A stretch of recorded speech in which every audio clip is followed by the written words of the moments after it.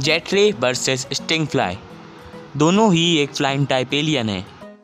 यानी कि दोनों की ही पावर्स एंड एबिलिटीज़ कुछ ज़्यादा सेम हो सकती हैं। और अगर उन दोनों की पावर सेम है तो उन दोनों में से ज़्यादा पावरफुल कौन है? तो आज की वीडियो बहुत इंटरेस्टिंग होने वाली है तो वीडियो को पूरी ज़रूर देखना।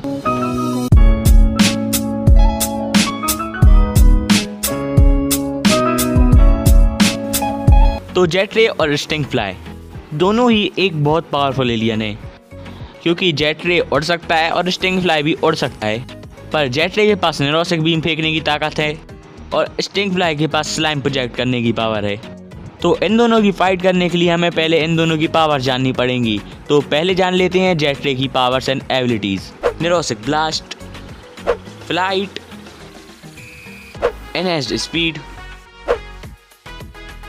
space survivability, underwater breathing, enhanced durability, enhanced strength, prehensile tail, prehensile fate, electricity immunity, hyperspace entrance, radiation immunity.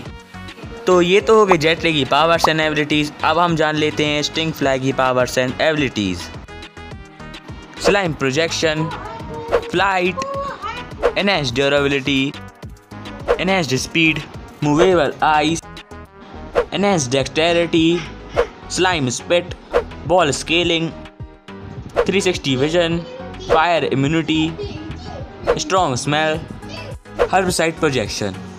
तो ये थी स्टिंग फ्लाई की पावर्स एंड एबिलिटीज़ इन दोनों की ही पावर्स एंड एबिलिटीज़ देख के तो ये लग रहा है कि दोनों ही बहुत ही ज़्यादा पावरफुल एलियन है। लेकिन एक वजह है जिस वजह से एक एलियन हार सकता है।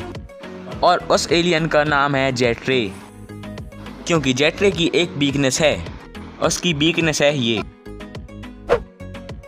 कि उसे कोई इजीली ट्रैप कर सकता है।